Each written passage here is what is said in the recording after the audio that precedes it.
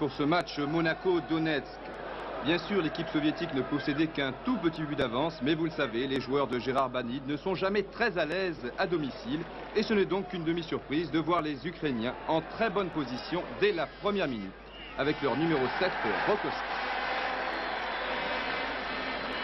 Monaco à l'attaque avec son arrière droit Alfred Vitalis qui bénéficie d'une touche.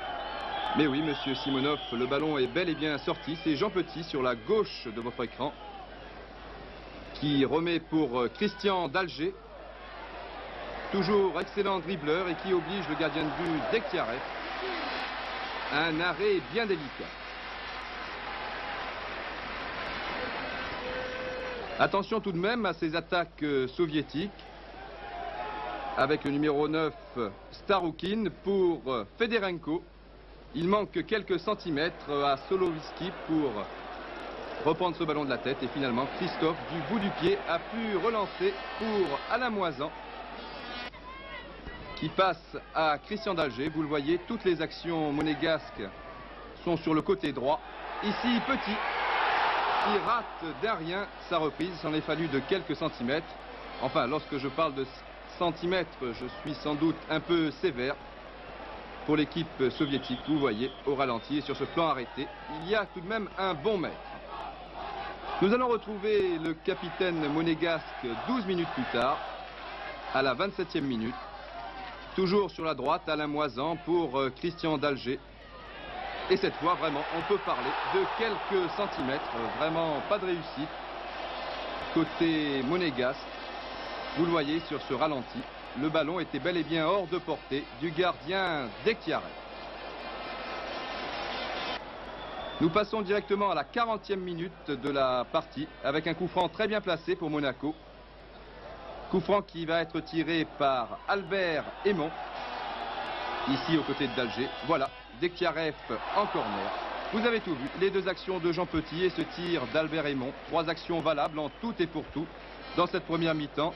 Une mi-temps au cours de laquelle on aura apprécié tout particulièrement les dribbles de Christian d'Alger, serré pourtant de très près, de trop près même parfois par les défenseurs. Et puis une révélation, Didier Christophe. Didier Christophe qui nous explique la première mi-temps très moyenne de l'ASM. On avait le match en main et on avait tout peur de prendre un but qu'il nous aurait fallu vraiment qu'on se livre carrément. Et là, on était encore à la d'un deuxième but. Alors je pense qu'on a joué prudemment, mais tout en essayant d'user physiquement l'adversaire. Il faut croire que la méthode a du bon, puisque 4 minutes seulement après la reprise, Monaco va ouvrir la marque sur cette action. Centre de Moisan, tête de Delionis. Voilà, 1 but à 0 pour Monaco. Au départ, une très bonne feinte d'Alain Moisan qui feinte le centre et qui prend tout son temps pour trouver son avançant. Delionis qui saute bien plus haut que Varnaski. Le poteau, puis les filets.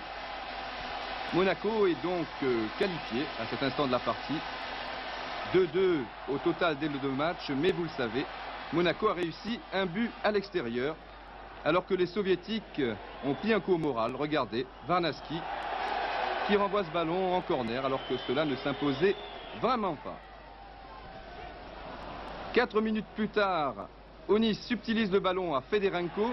Jean Petit pour Christian d'Alger, qui du gauche ajoute un deuxième but pour l'ASM. Deux buts à zéro.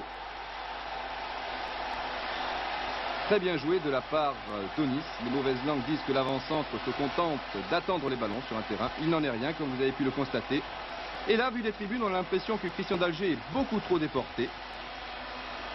Et non, un coup de rein et voilà Dektiarev trompé pour la deuxième fois de la partie.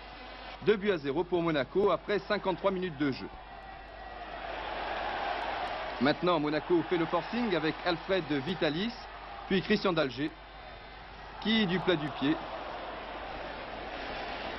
a cherché le coin des buts de Dektiarev.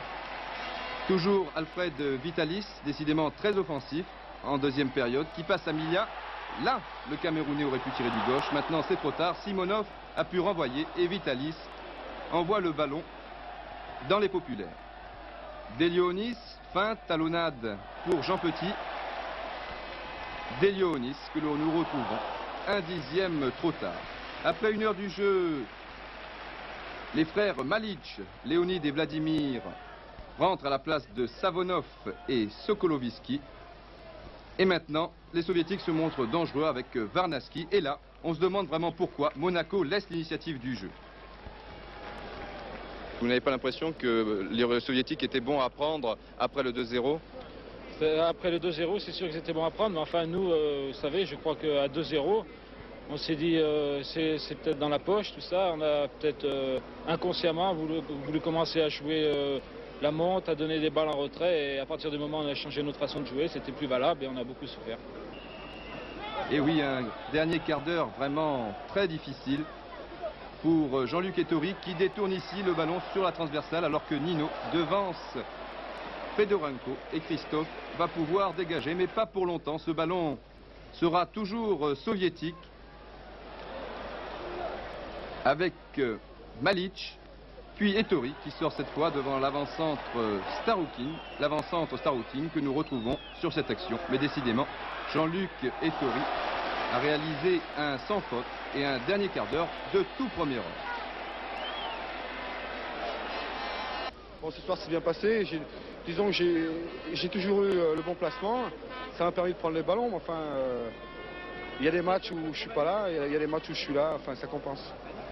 Toujours aussi modeste le gardien de but monégasque, car il faut bien dire qu'il est toujours là avec Monaco. Il sera d'ailleurs encore bien placé sur ce centre de Malic. Et cette reprise du 14, Vladimir Malic. Et finalement, un cafouillage. Monaco dégage. Alors que l'on revoit le numéro 13, Léonide Malic. Et la reprise du 14, Vladimir Malic.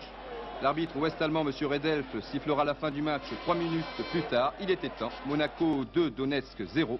Ce sont donc les